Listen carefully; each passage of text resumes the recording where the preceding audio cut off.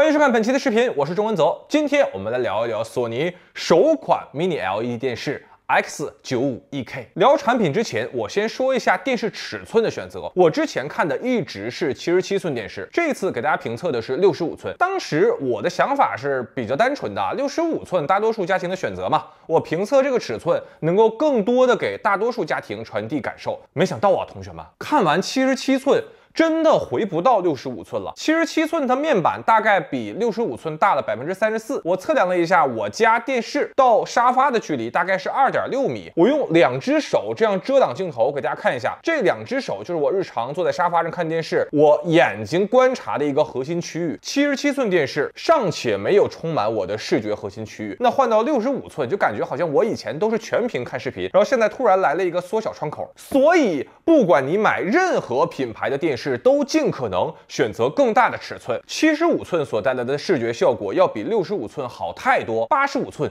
又比七十五寸更加凶猛。电视是更新频率很低的产品，所以你的选择可能决定了未来五到十年你的观看体验。我通常都会劝大家选择最适合的，不要盲目去掏钱。但在电视尺寸这个问题上，越大的就是越合适的。好，接下来我们说一说索尼 X 九五一 K 先说外观，由于屏幕材质。这款款电视完全不薄，和 OLED 电视相比，挂墙的视觉效果要差不少。同尺寸重量要比 OLED 重了二十斤，虽然不薄，但索尼在设计中也加入了各种小细节，比如说金属拉丝质感的纯明边框，比如说更加现代的楔形底座，还采用了正面超窄边框的设计。这个边框真的是超窄，我对比一下我们家老款电视，大家就知道这个新款电视有多薄了。X95EK 这次最核心的升。级是采用 Mini LED 屏幕，亮度可以达到一千四百尼特，极限场景甚至能飙到两千尼特。很多同学在家看电视都是在客厅，对吧？很多客厅还都是朝南的，还有一扇大窗。那么一台足够亮的电视就会给你带来一个非常。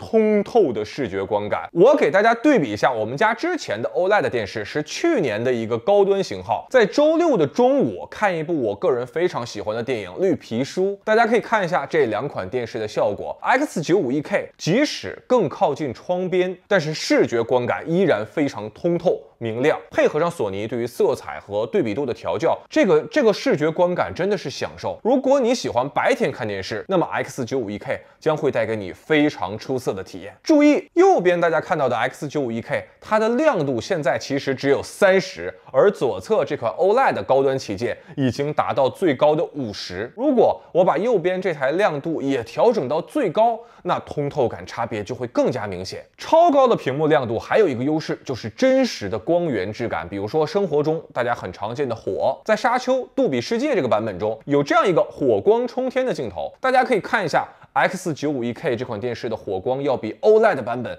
更加明亮。我们已经把它的画面亮度调到最大了，而 X951K 大家看一下，我现在把它的亮度调整一下，现在它的亮度只是二十这个参数，那我其实可以再调整，再调整，再调整，再调整，再调整。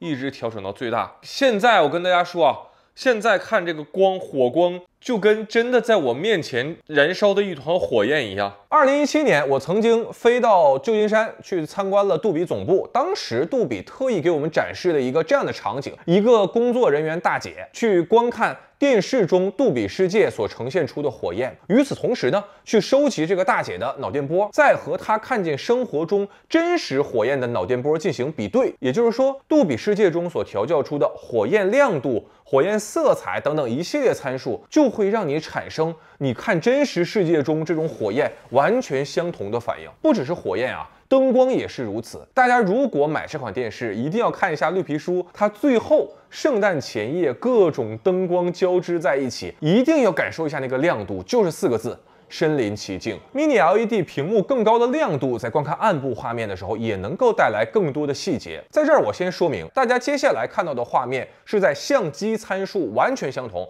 拍摄环境完全相同的场景下拍摄。但是相机对于光线的感知远不如我们人的眼睛，所以实际肉眼观看呢没有这么大的差别。电影《沙丘》，Jessica 夫人在深夜叫醒保罗的这个场景，右侧是 Mini LED，左侧是 OLED，大家注意这个暗部细节的差别了吗？再比如，我同时播放。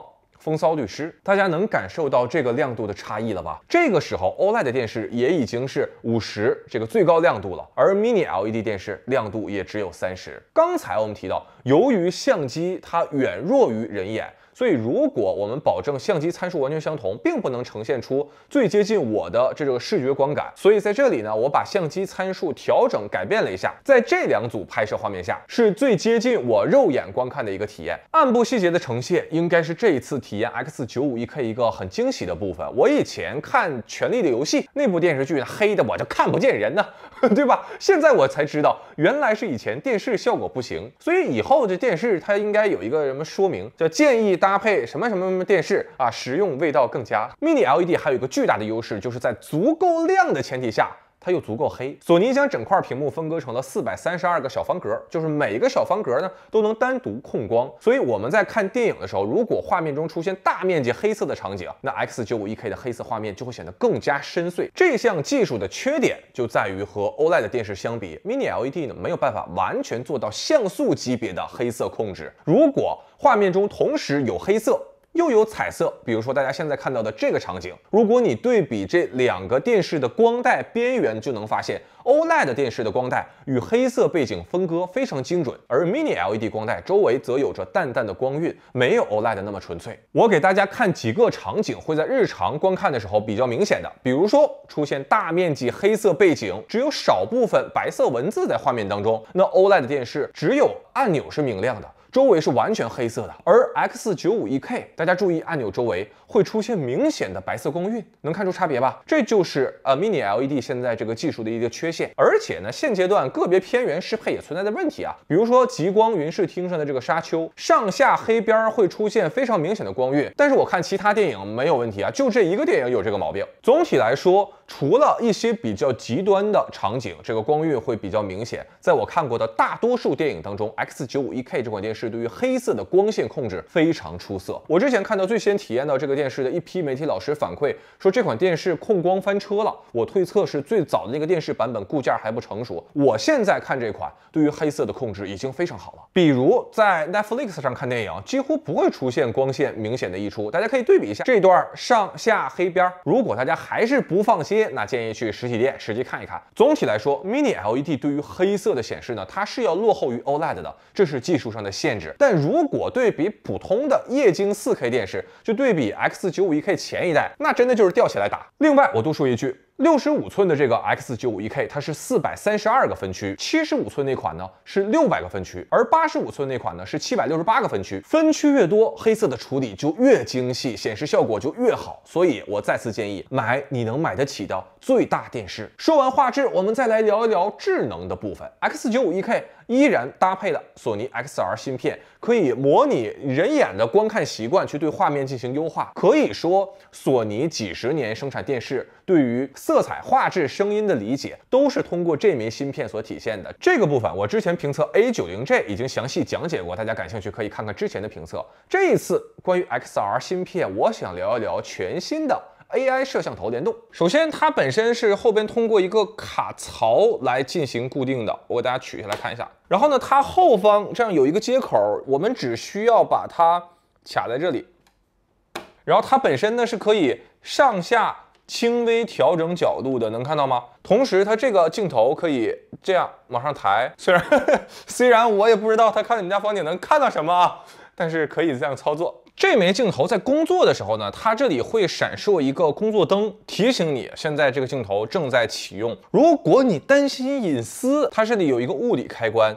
把这个拨过来，这个时候它的镜头就完全被遮挡。在我们此前接触过的大部分智能电视，前置摄像头主要用于视频通话，而索尼这个前置镜头则更像是一个。电视画质增强外挂，在设置中有两个画质调整功能，其中第一个是不需要外接镜头，就只通过电视自带的光线传感器来调整画面的白平衡、亮度、色温，类似于苹果的原彩显示以及自动亮度调节。那还有一个选项叫做自动调整图像和声音，这个选项是只有连接摄像头之后才能激活的功能。索尼通过这枚前置镜头来获取你在家中看电视的位置。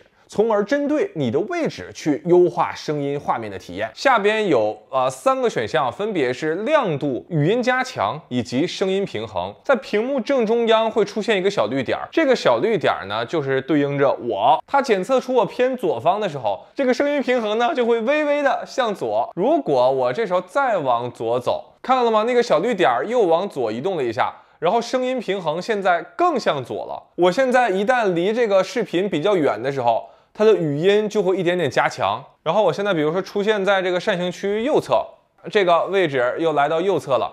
它的一个默认算法就是，当我距离这个电视越近的时候，它的这个亮度呢就是补偿就越低。也就是说，你已经距离电视这么近了，那就不需要那么高的亮度去照在你的眼睛里。至于声音平衡，如果它检测到你的位置不是正中心啊，比如说在左边。那电视就会适当的调整两侧扬声器的音量，微调两侧扬声器发出声音的时间，从而让这两个声音到达用户双耳的时候，能够保证左右声量均等，到达的时间也完全相同。比如说你们家是那种中间三个人的沙发，然后旁边有一溜躺椅的那种，那比如你周六的下午躺在那个躺椅上看边看电视啊，边吃薯片，边喝可乐，那电视就会根据你的位置去给你优化亮度、声音，你这小日子不是更美了吗？我也尝试去测试这个声音平衡工作的时候，呃，两个扬声器发出声音的前后差距啊。不过它这个时间差距真的是太小了，你想声速啊，我是真的没有测试出来。我我尽力了，大家知道有这么回事就行了。回收旧电脑、冰箱、彩电、洗衣机。那有同学一定好奇了，如果我们家里两口人或者三口人同时坐在电视前，索尼这套算法它是如何进行的呢？索尼官网还有一个演示动画，就是一家三口人，他中间沙发不坐，完仨人齐刷刷的挤在画面左边，这得是多么团结的一家人。那实际测试，如果是两个人，一个人坐在电视机左侧，另一个人呢坐在电视机更左侧，那这个时候他就会按照呃观众在左侧进行声音平衡。如果两个人一左一右去观看电视，左右音量平衡就不会改变了，亮度和声音大小还是会根据距离持续调整。通过前置镜头去改变画质和声音，这个方向非常好。我总看到，呃，让用户去感知电视。那现在电视同样有机会去感知用户。这枚镜头支持距离检测，你说家里有小朋友，你怕他看电视距离太近，对吧？你可以设置好距离，通过摄像头定位去测距。我给大家测试一下，就我整个人贴在我们家这个墙上，距离就是三米。大家如果想看这个更远的距离测试呢，建议去找一些这个呃住大房子的博主。哎，我怎么这流泪了？走到这里的时候，大家注意，大家看它出现一个小提示，要继续观看请后退。如果这个时候我后退，那什么事情都不会发生。只有你在这里长时间停留，比如说到这儿，你看还不走，你看它会有一定时间，然后告诉你要继续观看请后退。这次前置镜头还和微信合作，带来了电视端的微信通话。前置镜头也可以进行 AI 健身和 AI 游戏，我就跟着小姐姐蹦跶了一会儿，这有点像那个 犯犯错误了被警察叔叔压住了这种感觉啊。声音部分，X95 这次配备的是两枚高频扬声器、两枚中频扬声器和两枚低音炮。要不说电视厚也不都是缺点，能容纳效果更出色的扬声器。这款电视的声音响度提升非常明显，声音更加透亮了，比我们家去年那款 OLED 的电视升级非常大。这台电视它也是可以通过 XR 芯片将声音和画面内容进行结合，画面中人物在哪个位置，那声音就从哪里发出来啊。也可以将左右双声道的视频通过算法去升级到这种立体环绕声。这个部分 A90。这咱们评测里也详细讲解过了，我在这就不重复了。视频最后我必须要说一下这款遥控器，哇，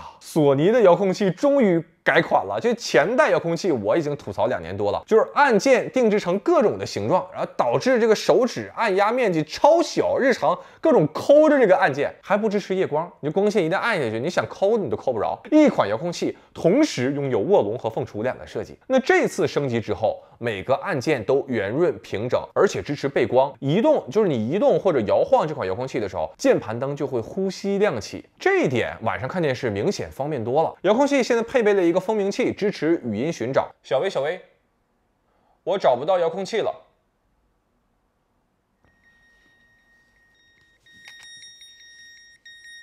找到了，啊，当然也是我藏的。这次呢，索尼还增加了手机遥控器。我个人对于手机遥控器没有什么特别大的感觉，因为它没有传统遥控器那种机械反馈以及情怀。但是手机遥控器它的优势呢，是可以调用虚拟键盘，你搜索偏远的时候就不用费好大力气跟那个拼音首字母了。以上就是我对于 X951K 的体验反馈。这是索尼第一款 Mini LED 电视，也是我第一次体验 Mini LED 电视。使用之前，其实我对于 Mini LED 这种技术优缺点都有所了解，但是体验之后还是有很多很新鲜的感受。比如说，这种屏幕材质在暗光下显示黑色以及显示暗部细节的表现要超出我的预期。比如说，Mini LED 和 OLED 相比，各自适合哪些场景，又各自具有哪些优势？比如说，通过前置镜头去调整画面和声音，这个思路。非常的索尼，在很多电视厂商都主攻智能家居这个思路的今天，索尼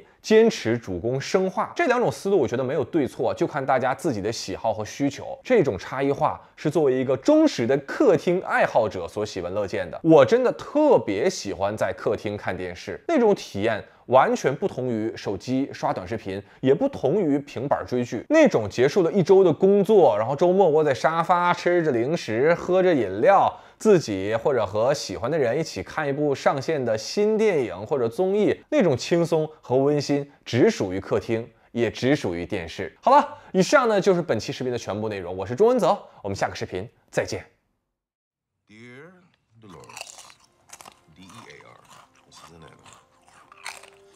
Writing this letter, I'm eating potato chips, and I'm starting to get thirsty.